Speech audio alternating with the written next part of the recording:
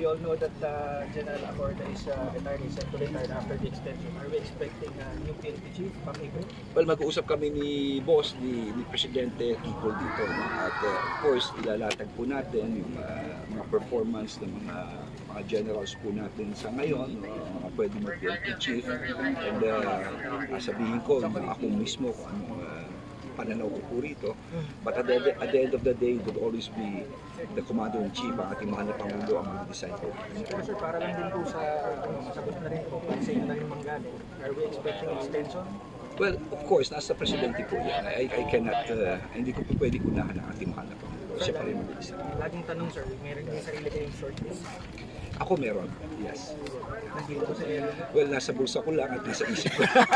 Sorry pare, pero aalamin ko lang kay, kay Presidente ito, kami na lang po mag-uusap. For, for, mo kami ng akin. Ilan ang nyo recommend? Ako, siguro mga apat. When do you expect to submit the recommendation?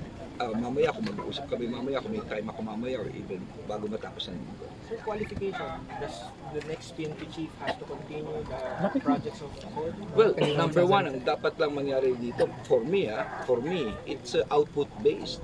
Okay. wala ito sa ano, dapat ito may resulta. Importante ang resulta rito. Alam mo, maski sa ang bagay naman, hindi lamang sa PNP, maski sa naman sigurong ahensya, no, importante ang resulta at the end of the day. And these are good results ang kinakailangan. Sir, for the next CPNP, uh, sabihin na natin, anonymous pa ito sir, pero ano yung gusto niyong makita sa kanya or projects? Well, number one, ah, ang, ang projects sa ang mga problema natin ngayon, of course, aside from drugs, will be cybercrime. No, it's the number one right now. Uh, number two, yung focus, uh, yung index uh, crimes, yung focus index crimes, dapat nakaano po nito. Actually, bumababa naman dito, pero dapat pagtitingan ito. And uh, other crimes na, na talagang dapat talaga tutukan. Because what is important for us really, I, I would like to congratulate Sec uh, Frasco, maganda ang ating tourism.